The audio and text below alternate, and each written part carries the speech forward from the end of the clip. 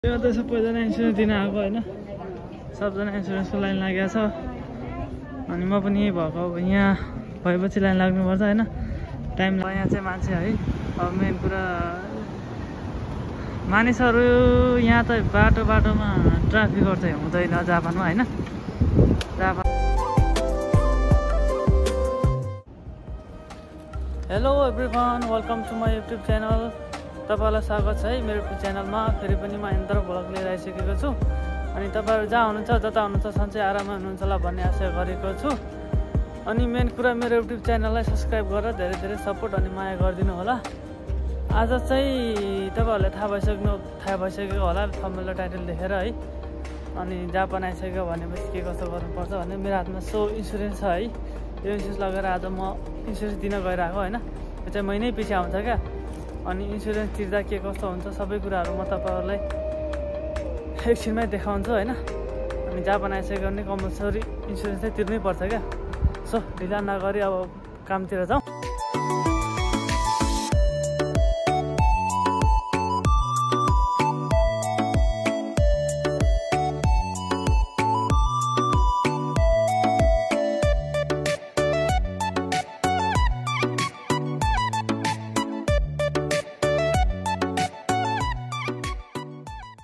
Finally म चाहिँ अब इन्सुरेन्स अफिस पुगिसकेँ है।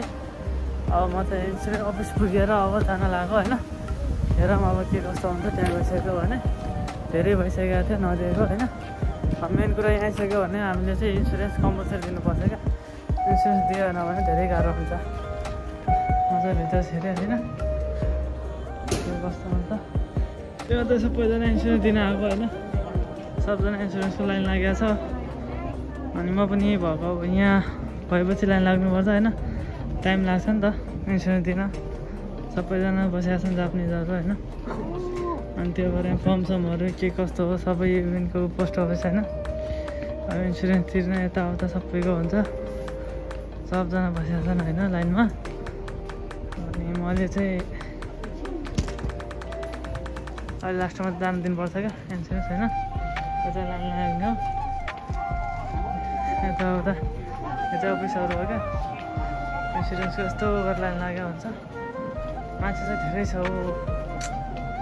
होइन? लास्ट क्या? टाइम लाग्छ क्या तर इन्सुरेन्स दिँदाखेरि। ठिक छ।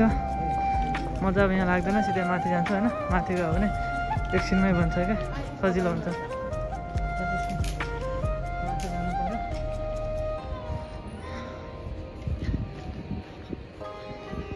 अहिले म चाहिँ ठाउँमा पुगिसक्यो होइन। उहाँ तल बोलायो भने लाइनहरू धेरै दिनुपर्छ क्या लाइन लाग्नुपर्दा सुमा सेन छैन इन्सुरेन्स अब यहाँ दियो होइन। यहाँ दिइसक्यो भने छिटै हुन्छ क्या के गर्नु पर्दैन।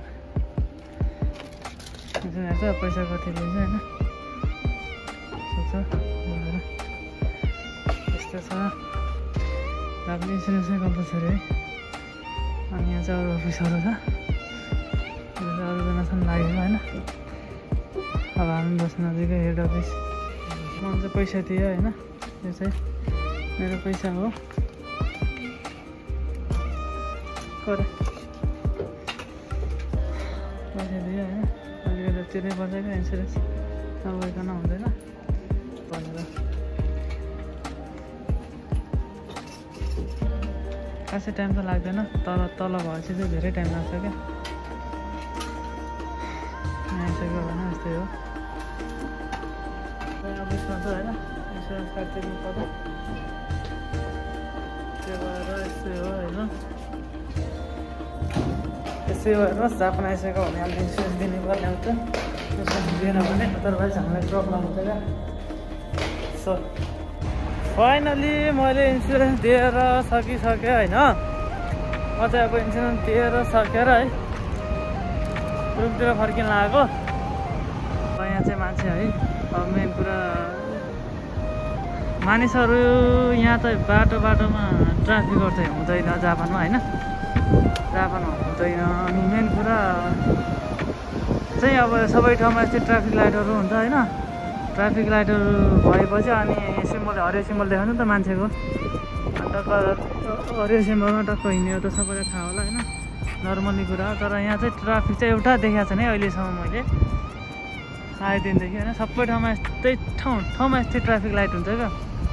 अनि वेट गर्नुपर्छ बस्नुपर्छ अनि किरिङ सिम्बल आयो भने हिँड्नुपर्छ। उता किरिङ भयो है। अब चाहिँ हामी हिँड्न लाग्यो किनभने साइकलको हिँड्ने बाटो र मान्छेको हिँड्ने बाटो अलग्गै हुन्छ अनि आफ्नो ट्र्याकमा हिँड्नुपर्छ होइन गाडीहरू हिँड्ने बाटो अलग्गै छ अब यता जता पनि यस्तै हो। ठिकै छ जापान हेर्दा चाहिँ रमाइलो छ सफा छ होइन। अनि मेन कुरा अब आफैले सबै चिज म्यानेज गर्नुपर्छ के कस्तो हो। सबै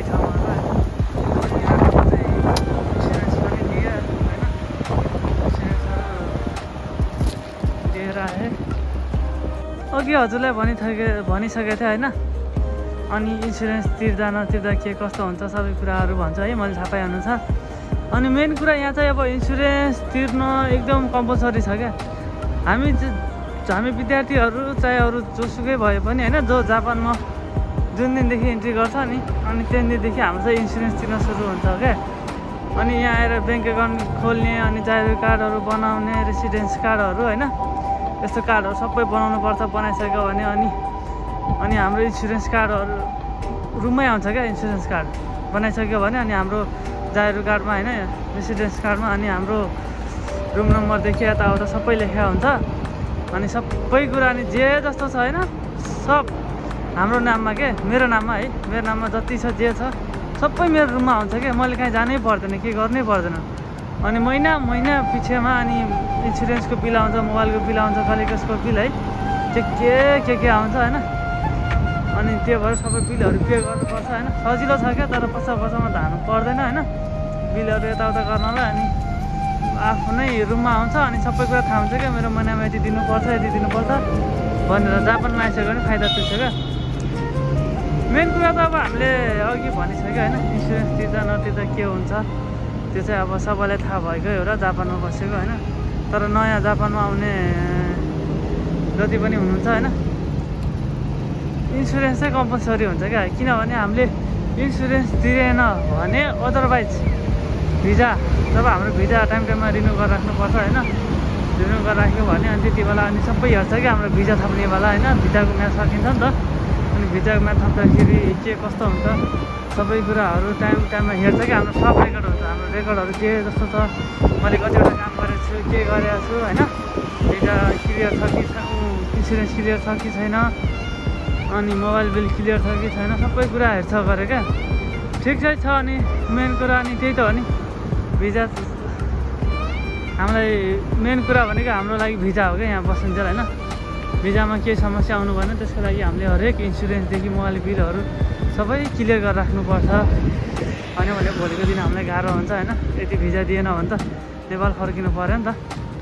अनि त्यो समस्याबाट बस्नको लागि त हामीले टाइम टाइममा इन्सुरेन्सहरू भयो मोबाइल बिलहरू भयो जे जे छ नि सबै क्लियर गरेर राख्नुपर्छ सो त्यही हो।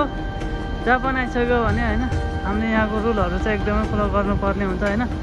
अदरवाइज रुल फलो गरेन भने के के के के अलिक धेरै प्रब्लमहरू आउँछ भित्तामा होइन। नर्मल साइकल चलाउँदा ऊ भएन रुलमा हिँडेन यताउता के गरेन भने त्यहाँ पनि फाइन पर्छ क्या। अनि त्यो पनि हाम्रो सिधै भिजा इमिग्रेसनमा थाहा हुन्छ क्या। के गर्यो कस्तो गर्यो सबै कुराहरू हामी आइसक्यो भने त्यसले के गरेछ कस्तो गरेछ सबै कुराहरू हाम्रो सबै जे जति छ सब इमिग्रेसनमा थाहा हुन्छ। अनि सो हामीले आइसक्यो भने यहाँको रुल डिमान्ड नियममा रुलमा हिँडिदिँदा हाम्रै लागि फाइदा हुन्छ। भोलिको दिन हामीलाई गाह्रो हुँदैन भिजा टाइम टाइममा आएर आइरहेको छ होइन राख्नुपर्छ नि त। सो त्यस्तो हो। हेर्नु अब जापान आउनुहुन्छ भने त्यही हो। मान्छेले आफ्नो सोचेको सबै कुराहरू बिस्तारै पुरा हुन्छ होइन? आफूले बिस्तारै गर्ने हो सबै चिजहरू। आतिनु भएन यहाँ आइसक्यो भने सुरु सुरुमा अर्कै हुन्छ अर्कै लाग्छ। अब हामीलाई पनि लागै हो तर अहिले चाहिँ त्यस्तो खासै केही लाग्दैन। सबै साथीहरू हुन्छ होइन? रमाइलो हुन्छ। काम जाँदा गएको जाँदा। अनि सबै भयो भने खासै केही लाग्दैन।